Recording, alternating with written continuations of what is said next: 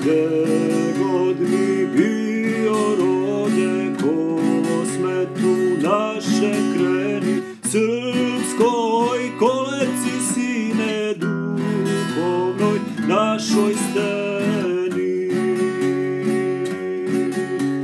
Kad se prekrstiš sine, okreni se kosmetu tamo, to je naš Jerusalim,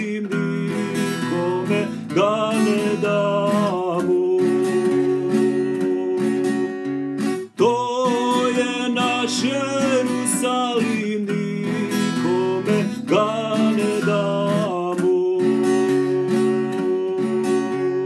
Dovešće tebe otac da vidiš sveto mesto duša na cara sine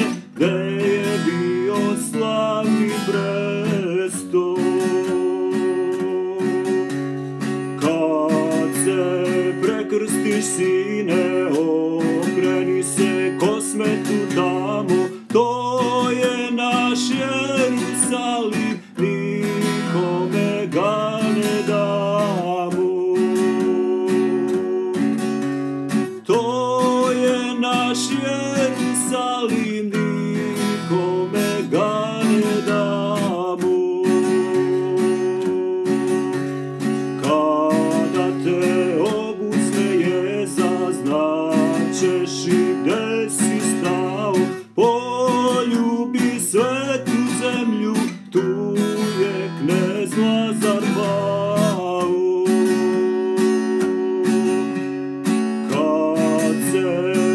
prekrstiš sine, okreni se kosmetu tamo, to je naš Jerusalim, nikome ga ne damo.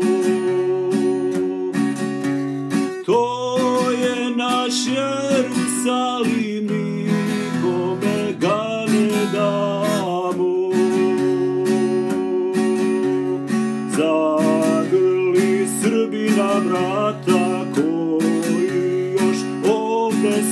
stoji, čuva naš sveti oni koji ovako krsta stoji. Kad se prekrstiš sine, okreni se kosmetu tamo,